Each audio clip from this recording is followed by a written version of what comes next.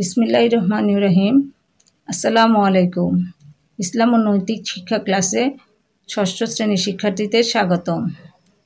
আজ আমরা আলোচনা করব পঞ্চম অধ্যায়ের পাঠ চার ও পাঁচ।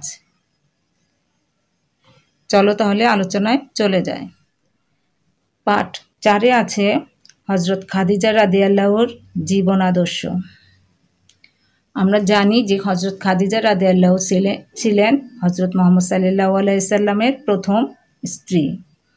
তিনি পাঁচশো ছাপ্পান্ন খ্রিস্টাব্দে কুরাইশ বংশে জন্মগ্রহণ করেন। তিনি বিশ্বের নারীদের, বিশ্বের ইতিহাসে নারীদের মধ্যে প্রসিদ্ধ ছিলেন। এবং তিনি হজরত মোহাম্মদ সম্পর্কের দিক থেকে তিনি হজরত মোহাম্মদ সাল্লাহ আলাইসাল্লামের চাচাতো বোন ছিলেন। আর হজরত খাদিজা রাদি আল্লাহ হজরত মোহাম্মদ সাল্লাহ আলাইসাল্লামের সততা, আমানতদারিতা ও বিশ্বস্ততার কথা শুনে তিনি তার ব্যবসা বাণিজ্য দেখার জন্য হজরত মোহাম্মদ সাল্লাহ আলাইসাল্লামকে বলেন এবং তার হজরত মোহাম্মদ সাল্লাহ আলাইসাল্লাম যখন তার ব্যবসা বাণিজ্য দেখাশোনা করে তখন তার ব্যবসা বাণিজ্যে অনেক লাভ হয় এবং তার চারিত্রিক গুণাবলী এবং সততা, বিশ্বস্ততা, তার চারিত্রিক গুণাবলীর কথা জেনে তিনি মুগ্ধ হন এবং তিনি হজরত মোহাম্মদ সাল্লাহ আলাইসাল্লামের কাছে বিয়ের প্রস্তাব পাঠান। তখন হজরত মোহাম্মদ সাল্লাহ আলাইসাল্লামের বয়স ছিল পঁচিশ বছর এবং খাদিজা রাদি আল্লাহর বয়স ছিল চল্লিশ বছর। বিয়ের পরে হজরত মোহাম্মদ সাল্লাহ আলাইসাল্লামের উপর হজরত খাদিজা রাদি আল্লাহ তার ব্যবসা বাণিজ্যের সম্পূর্ণ ভার সম্পূর্ণ দায় দায়িত্ব দেন এবং তিনি এবং হজরত মোহাম্মদ সাল্লাহ আলাইসাল্লামকে তার সম্পদ থেকে ইচ্ছে মতো খরচ করারও অনুমতি দেন এবং হজরত মোহাম্মদ সাল্লাহ আলাইসাল্লাম তিনি সেখান থেকে গরিব দুঃখীদের দান করতেন। হজরত খাদিজা রাদি আল্লাহ এবং হজরত খাদিজা রাদে আল্লাহ তিন পুত্র সন্তান এবং তিন কন্যা সন্তানের জন্ম দেন। তার মধ্যে ছোটবেলায় তার পুত্র সন্তানগণ মারা যায়। এতে হজরত মোহাম্মদ সাল্লাহ আলাইসাল্লাম অত্যন্ত মর্মাহত হন।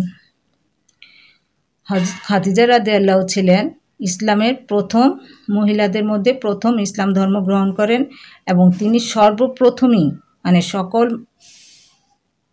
মানুষের মধ্যে তিনি প্রথম ইসলাম প্রচার, ইসলাম ধর্ম গ্রহণ করেন।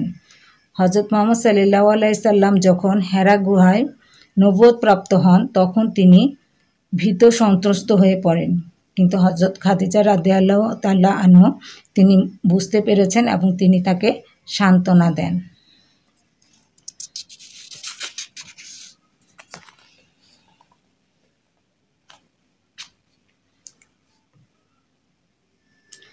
হজরত মোহাম্মদ সাল্লাহ আলাইসাল্লাম যখন আল্লাহর নির্দেশে ইসলাম প্রচার শুরু করেন, খাদিজা রাদি আল্লাহ তালা আনু সর্বপ্রথম ইসলাম ইসলাম ধর্ম গ্রহণ করেন। এবং হজরত খাদিজা রাদে আল্লাহ তালা আনু তার চারিত্রিক গুণাবলী ছিল অসাধারণ। তিনি জাহেলি যুগে জন্মগ্রহণ করলেও তার চরিত্রের তিনি সৎ চরিত্রের অধিকারী ছিলেন, কখনো অন্যায় ও অশ্লীল কাজে যোগ দেননি। তিনি ইসলাম প্রচারে হজরত মোহাম্মদ সাল্লাহ আলাইসাল্লামকে সাহস ও উৎসাহ প্রদান করেছেন এবং ইসলামের, এবং তিনি অত্যন্ত স্বামী ভক্তি ছিলেন। তিনি হজরত মোহাম্মদ সাল্লাহ আলাইসাল্লাম কোথাও যদি যেতেন, যতক্ষণ না আস, না আসতো, তিনি অপেক্ষায় থাকতেন। তিনি হজরত খাদিজা রাদে আল্লাহ তালা আনু নবতের দশম বছরে রমজান মাসে ইন্তেকাল করেন।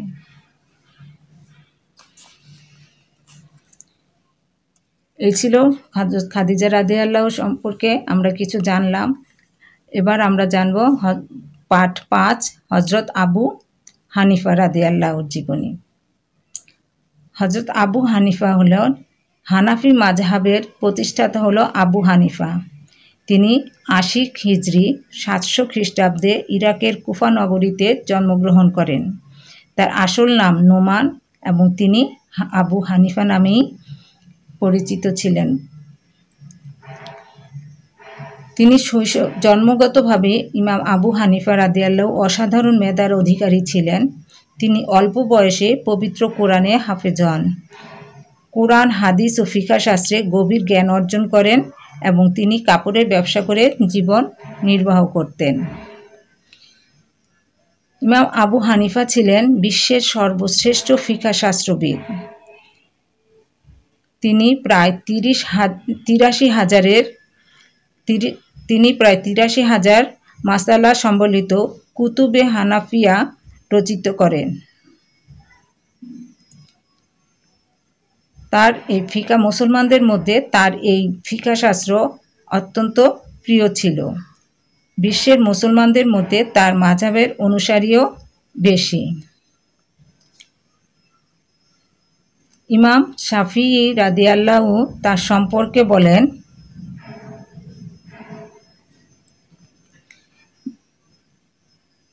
তার কথা এবং কাজে তার অপূর্ব মিল ছিল। তিনি জীবনে কখনো লোভ লালসা বশীভূত হননি। তিনি অত্যন্ত সহজ সরল জীবনযাপন করতেন। আব্বাসীয় খলিফা আল আল মানসুর তাকে প্রধান বিচারপতির পদে গ্রহণের প্রস্তাব দেন। তিনি অত্যন্ত ধীরতার সাথে তা প্রত্যাখ্যান করেন। এ কারণে তাকে দৈহিক ও নির্যাতন ও কারাবরণ করতে হয়। তিনি একশো পঞ্চাশ হিজড়ি ও সাতশো সাতষট্টি খ্রিস্টাব্দে খলিফা আল মানসুরের কর্তৃক প্রয়োগকৃত বিষক্রিয়ার ফলে কারাগারেরই শাহাদাত বরণ করে। এভাবে তার জীবনের